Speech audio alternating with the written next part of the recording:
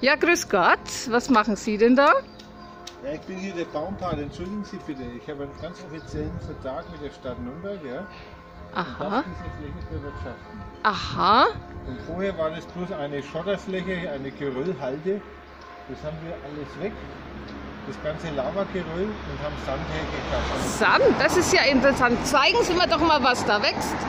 Ja, hier haben wir zum Beispiel den Feldbeifuß. Eine Aha. Art, die extrem an Trockenheit angepasst ist. Artemisia campestris. Und da daneben, was ist da noch? Was meinst du das da hier?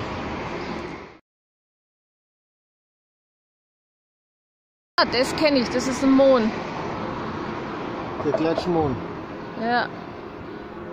Das kleine, weiße. Das da hier ist die Sandgrasnelke. Aha. Die sind schon am Verblühen. Ein Exemplar, ein Blütenstand ist noch voll in Blüte. Ein Bleiwurzgewächs, keine Nelkenart. Und das ist typisch für so Sandtrockenart.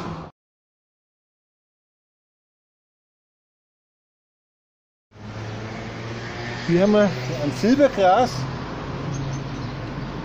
Coroniferus canescens. Blüht jetzt aber noch nicht. Das ist eine sehr empfindliche Art.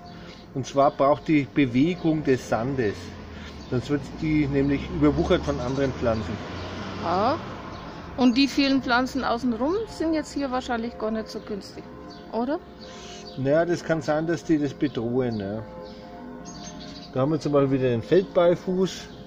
Und hier haben wir typische Sandmarasenart, den kleinen Ampfer. Aha. Das ist die Nahrungspflanze der blauflügeligen Sandschrecke. Der blauflügeligen Sandschrecke. Die gibt es hier aber nicht. Hier weiß ich nicht, vielleicht kommt es im Sommer, es wäre natürlich ein Riesenerfolg. Aber bis jetzt habe ich sowas noch nicht beobachtet, auch nicht, auch nicht die Ödlandschrecken.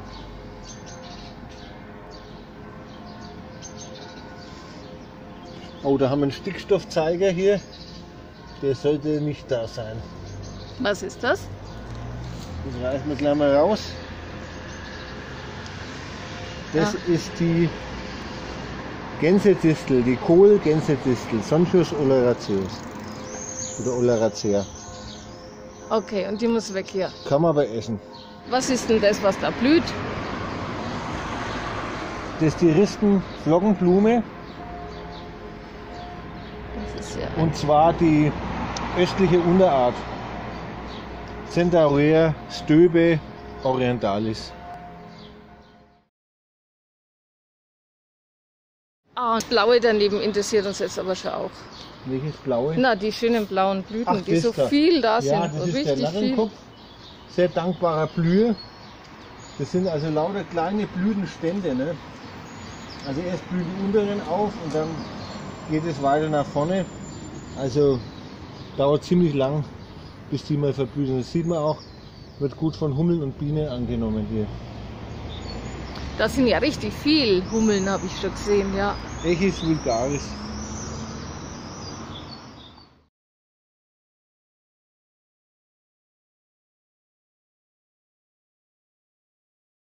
Die breiten Blätter, was ist das da unten? Das ist die Hundszunge, die ist zweijährig.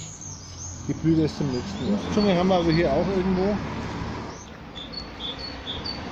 Da sieht man die Früchte schön, die an eine raue Hundszunge erinnern. Die bleiben auch an der Kleidung hängen und werden so transportiert. Ah, da ist der Leindotter auf, hä? Bitte?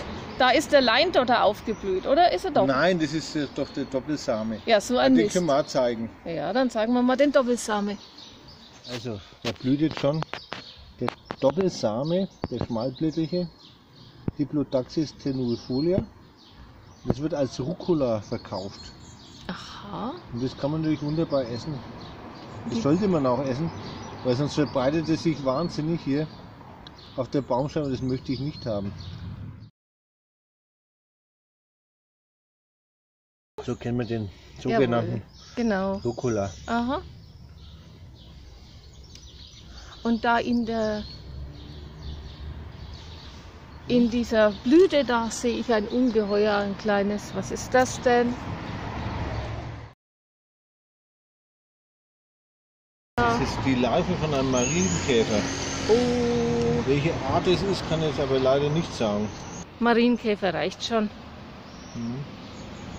Und die fressen doch die Läuse. Und da habe ich da vorhin welche gesehen. Die sind da drüben, die schauen wir uns.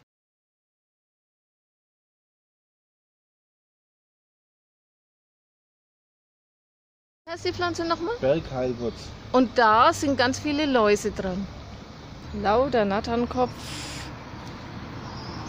Und eine kleine Landschaft.